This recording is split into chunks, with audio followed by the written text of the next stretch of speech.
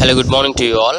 In this video we'll see how we can disable or enable gmail notifications. Uh, some want the notifications or the alerts to be appeared on their phone while any new message arrives to their gmail app and some doesn't want that. So i'll show you how you can enable or disable that. Open your gmail app. Uh, this is on my android mobile. This is the gmail app. And here you can click on three lines and then click on settings. If you scroll down you'll find the settings and you click on general settings. So see here uh, default notification action no no not this one. Manage notifications. Second option you can see. Uh, second option. If you disable this there will be no alerts or the notification from gmail app to your mobile.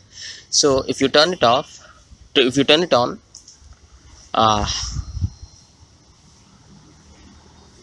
so there is a customization here.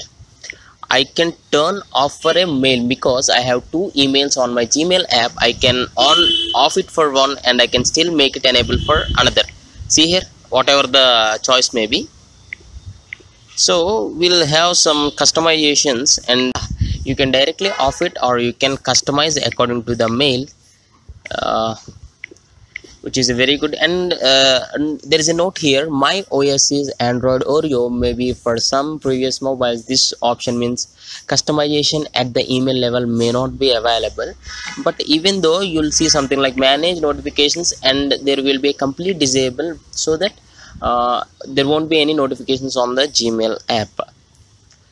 So yes this is how you can enable or disable notifications on gmail app. I hope you like this and thanks for watching. Have a nice day